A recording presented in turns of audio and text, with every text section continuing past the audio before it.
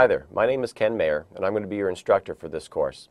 Now, I've been involved in the world of IT since the very early 80s, working with a variety of different technologies.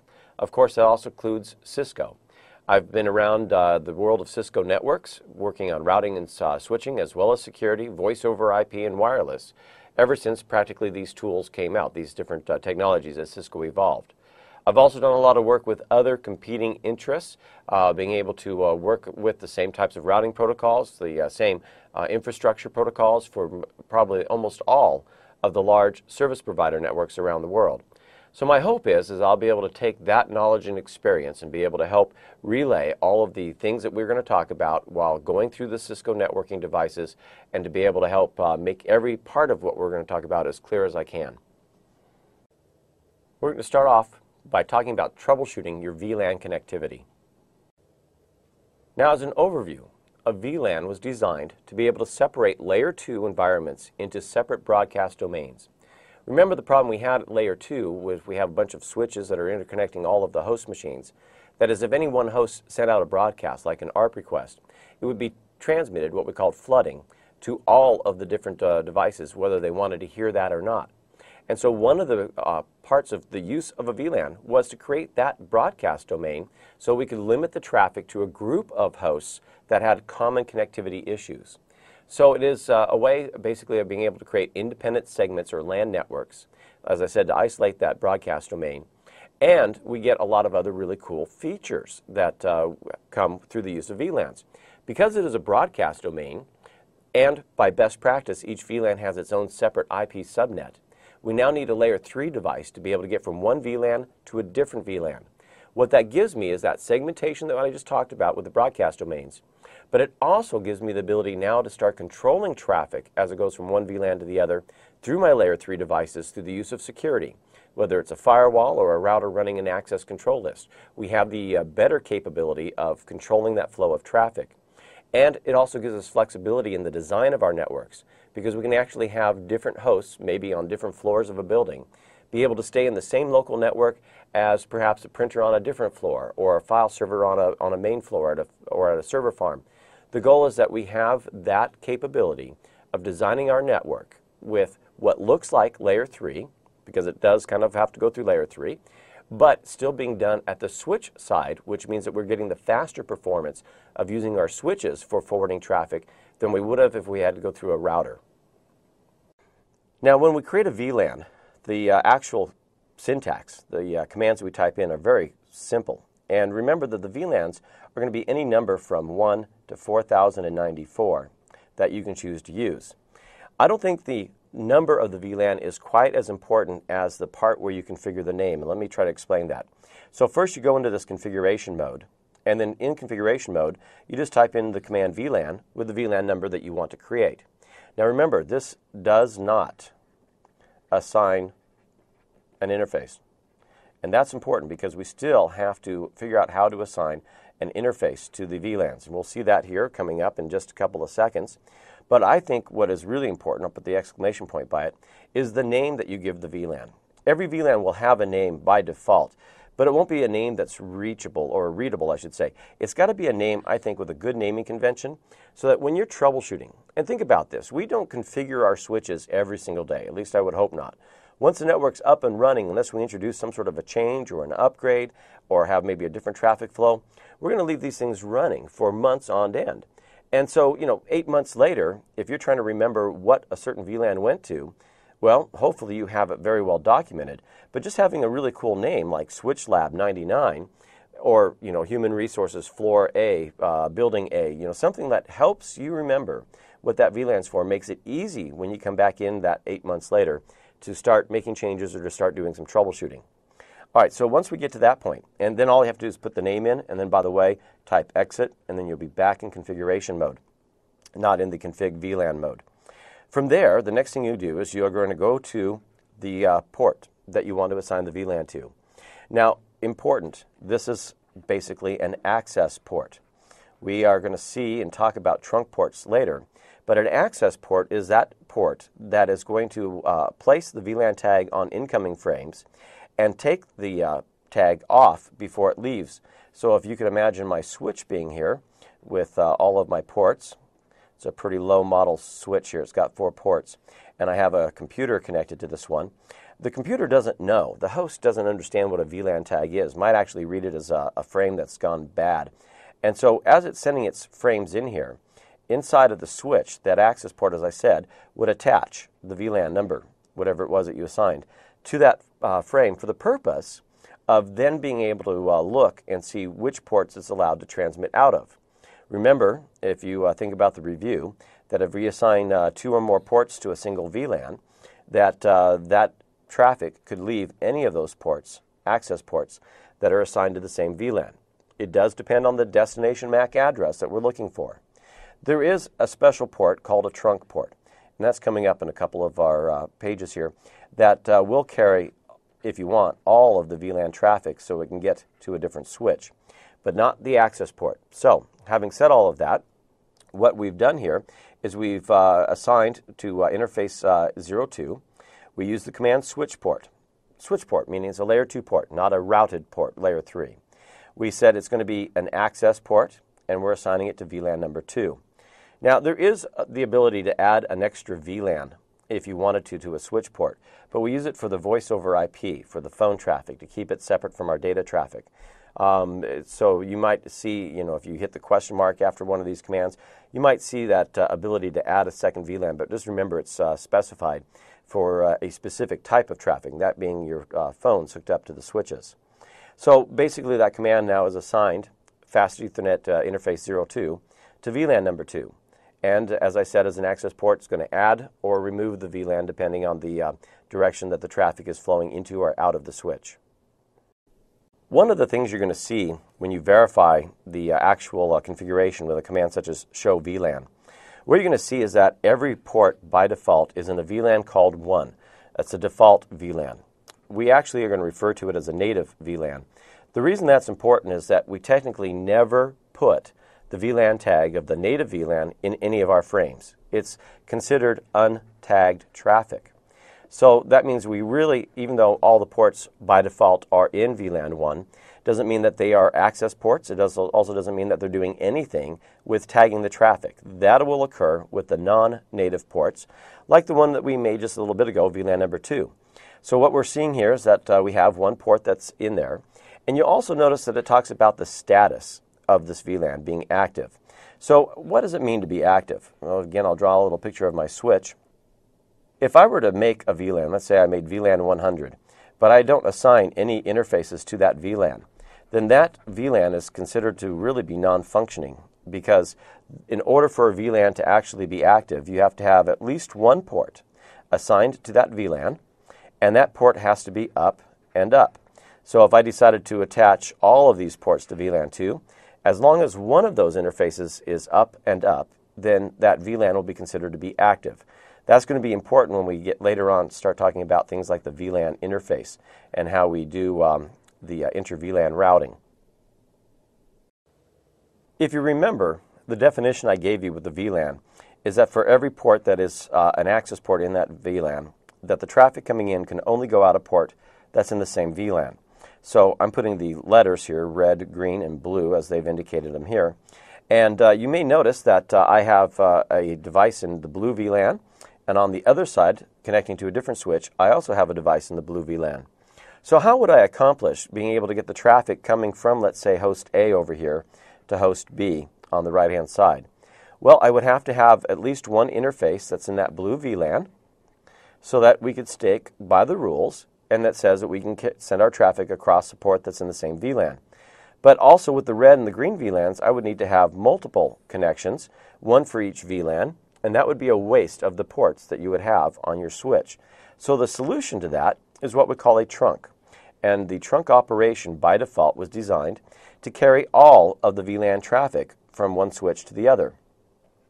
Now, that in a way means that the trunk, you could think of it as being a member of all VLANs, and that is the default, like I said, all VLANs will go across. The uh, thing about a trunk, though, is unlike the access port, the trunk does not remove the VLAN tag. The VLAN tag remains with the frame as it goes from one switch to the next. So when it's received by uh, this uh, second switch over here, it's still going to make sure that it can only leave ports that are attached to that same blue VLAN.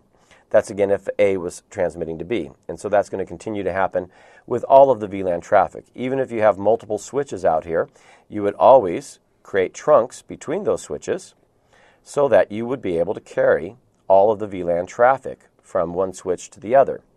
That, uh, again, is how we then can uh, basically divide our network, as I said, into segments that make sense, uh, as well as being able to uh, help uh, create those broadcast domains. And as I said later, when we talk about how to get from one VLAN to the other, at layer 3, that's when you could also implement some security.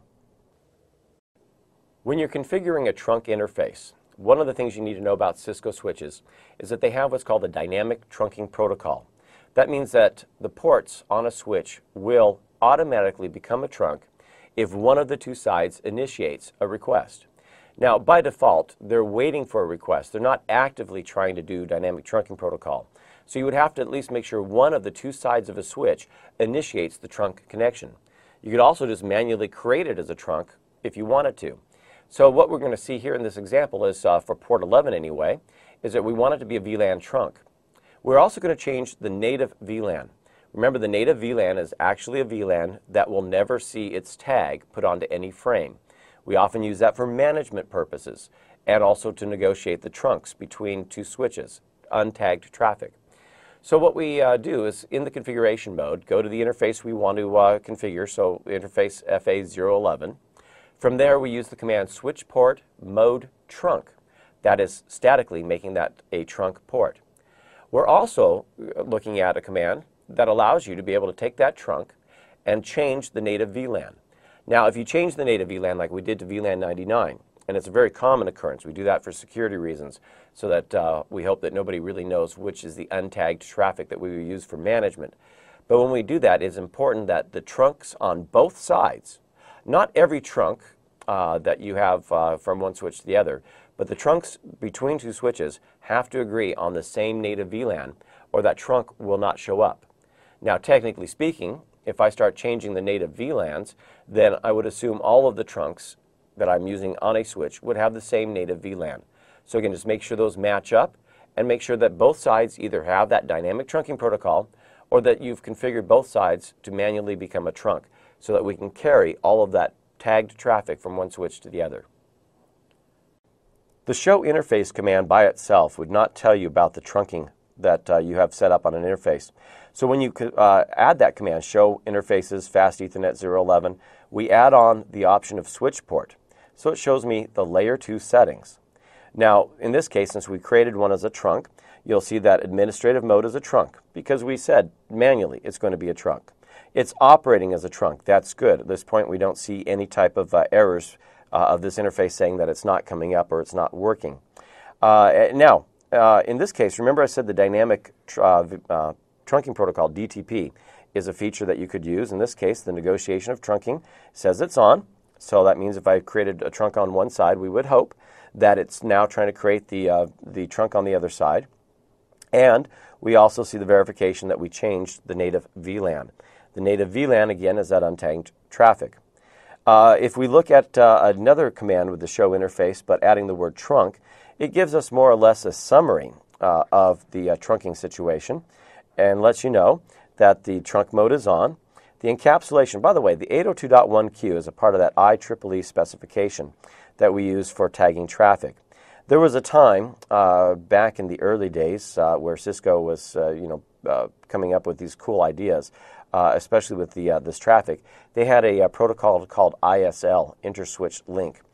Don't worry about it. We don't use that as a default anymore. But it gave us some really cool features that nobody else had until uh, the 802.1q protocol had been revised. And uh, we're going to actually see some of those uh, features as we start talking about uh, the instances of things like spanning tree. Anyway, so back to this. We see the encapsulation tells us how the tags that we're using. And the status is that it's trunking and the native VLAN, again, 99. So here's DTP, the Dynamic Trunking Protocol. Now, this, again, the idea behind this is that uh, it is on by default with uh, all of the uh, different types of uh, ports, but it's in dynamic auto, which means that neither side wants to initiate this. So if I have both sides of my trunk link running dynamic auto, then it's actually going to be an access port, not a trunk. One of the two sides at least has to be turned on as desirable, because you can see that uh, no matter how we set that up, if either side is desirable, the other's on auto, that we're going to come up with a trunk, or if they're both indesirable, they'll negotiate themselves as a trunk. With DTP turned on, and what we saw here when we manually created a trunk port, as this one did, that it does automatically become a trunk, even if both sides are manually done.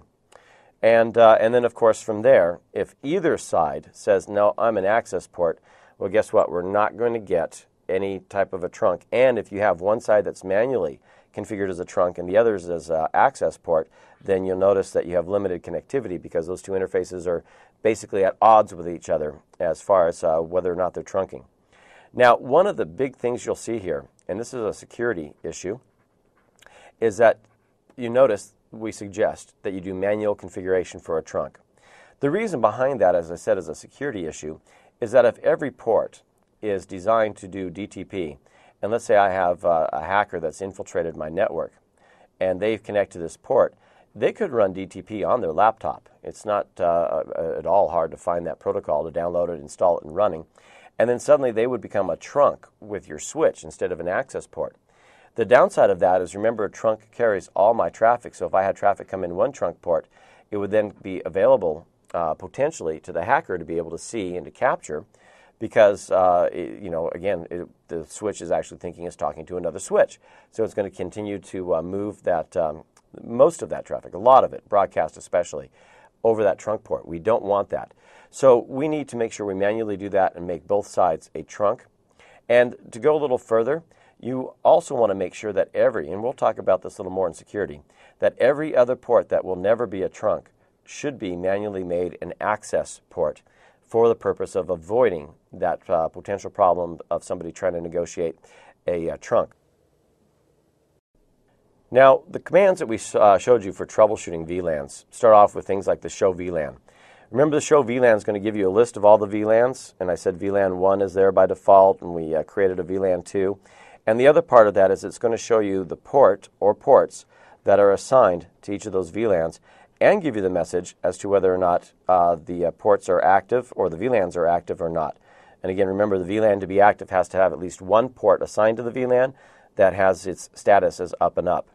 So if I'm having a problem, let's say, with uh, com two computers not talking to each other, and they're in the same VLAN, I'm getting good at drawing my little three-dimensional switches, I, I think, here. And so let's uh, put a couple of ports. And uh, at, at, this port point, uh, I'll create two VLANs. Uh, I won't worry about the trunks. I'll kind of divide it over here. We'll make this a VLAN 10 and VLAN 20. And the first step says there's no connection between the PCs that are in the same VLAN. So I'm imagining I've got a PC over here and a PC over here. They're both connected to ports in VLAN 10. So the first thing we do with the short VLAN command is make sure the port's in the correct VLAN. Let's ask that question. Did we make a misconfiguration of what we thought was supposed to happen? If we notice that one of those two ports is not in the VLAN we expect, then the solution is simply to assign it to the correct one. Um, now, the reason that's important, again, remember, we do forwarding based on destination MAC addresses. And when traffic enters a VLAN and we look at the MAC address table for forwarding, we're only going to look at the MAC addresses that are in VLAN 10. So that means if uh, somebody's in a different VLAN, that we'll never uh, see that in the MAC address table, therefore would never be able to forward it. Now, uh, the, if the port is in the correct VLAN, the next one it says is the VLAN present in the VLAN database. All right, well that's again going back to the show VLAN uh, command to be able to see if it actually does exist. If you do a show interface, uh, especially when you add the switch port, you'd be able to see if it's an access port or a trunk port because that's also important. We want these to be access ports connecting to these uh, machines. Uh, so if the VLAN's completely missing, then obviously there's a problem. You would want to create that VLAN. And uh, then after that's done uh, and, and you test it again, we hope that now we have a successful connection between the PCs and the same VLAN. One of the things it doesn't say here, but just remember this, is again, they both should be, by best practice, in the same IP subnet because uh, even though we're going through the switch, uh, computers are still looking at a destination IP address. And uh, if they're in different subnets, then also we wouldn't have any communications.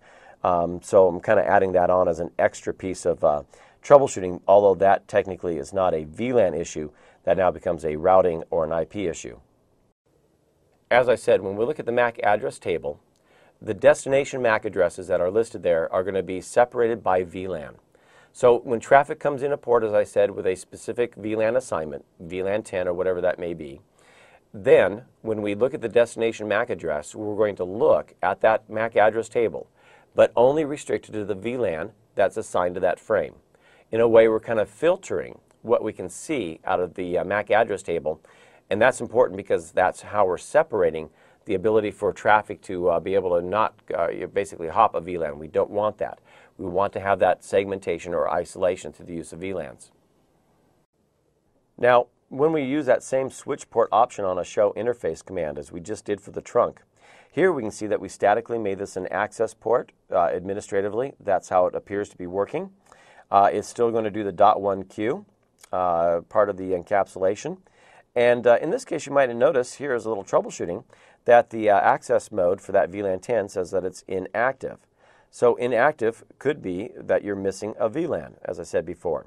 Assuming that this port is up and up and was assigned to VLAN 10, the question then becomes, did we actually create the VLAN 10? Now remember the goal of the trunk links between two switches is to carry all of the VLAN traffic. So in this case, if I have two switches and I have them connected with a trunk, I kind of like to make it look like a little pipe or a tunnel because it's carrying all those different VLAN numbers across here uh, between them, but it is a trunk. And, uh, and so let's talk about some of the troubleshooting. Of course, we can uh, do the show interfaces trunk just to see if it is in a trunking mode. Don't forget we also had the switch port option under the show interfaces to also look to see how it was set up. So uh, basically what we're saying here is uh, if we are having problems with communications between the switches, the first thing we want to look at is the local and peer native VLANs to make sure that they match. Remember, we made an example where we said the native VLAN is 99, so they need to be the same native VLANs, untagged traffic. And here's what would happen if we didn't do that. Let's say I, I made an access port and I said, let's make it VLAN 99. Well, the traffic comes in, now it's going to have a tag of 99 on it because we didn't make it native. And that's going to come across this uh, trunk link over to this switch that's going to see a 99 and say, hey, wait a minute. That's not supposed to be on any of my frames coming through here. It's an untagged management type of uh, uh, VLAN that we chose to use. So it then gets that confusion. And vice versa, if uh, something came in here, maybe from another switch with a tag of uh, 99, uh, this trunk's going to basically ignore that 99, take it off of there, send it across, and then again, confusion. So change the native VLANs to make sure that they match. The other uh, thing we want to look at are the local and peer trunks to make sure their modes match. Again, if you created this as an access port on this side and you manually made this a trunk on this other side, remember what the uh, result was? That's right, traffic that was inconsistent or basically non existent. So it, I don't care if one side's doing DTP uh, and the other you manually assign a trunk. I mean, you can do a lot of those options uh, as long as the both sides are agreeing to be uh, trunks. And at a best practice, statically configure them both to be trunks. And if that's done, same native VLAN, then you should have an operational trunk that's now carrying your traffic. All right, so here again, we're using the show interface with the trunk option to kind of see the summary. In this case, you notice that uh, this one's mode is auto, this one's mode is auto, because uh, we're looking at switch 1 and switch 2. And what happens if they're both in auto? If they're both in auto, remember we said that neither one of them would initiate being a trunk. And we're seeing it, right? The status says, hey, I'm not trunking at all. I might have it on auto, but uh, nobody has uh, said either way on either side that they want to become a trunk. So uh, that can be a problem. The other issue that you might want to look at is the native VLANs mismatching, right? We also want to make sure that that's set up. So we can kind of uh, cover two areas of troubleshooting with one command by doing the uh, show interface, interface name and number, and then followed by the command trunk. So we can then look back at our documentation and decide which is the correct native VLAN and what we're going to do with the modes, if we're going to statically make it a trunk or uh, try to make one at least uh, auto-desirable. Well, I hope as you went through this that you got a little bit more information, more in-depth information about the VLANs. Uh, and again, it is a way of creating separate broadcast domains that can span over multiple physical segments, meaning multiple different switches. One thing a VLAN does not do is survive going through a router. You just need to know that because the router is doing everything at layer 3. So, uh, and we'll talk about that inter-VLAN routing a little bit later. Uh, trunks are how we carry multiple VLANs across from one switch to the other. Without having to burn up physical ports, one for each VLAN I configure. We have the dynamic trunking protocol that can automatically negotiate a trunk. It's not recommended. We tell you to use or turn it off basically and make it manually a trunk. Also verify that the ports that you use for uh, are in the correct VLANs, whether access ports so that you can have host-to-host -host traffic, or whether or not you have the same uh, VLAN configuration uh, set up on uh, the trunk links as well, such as the native VLAN that I was talking about before, because that'll also bring down a trunk.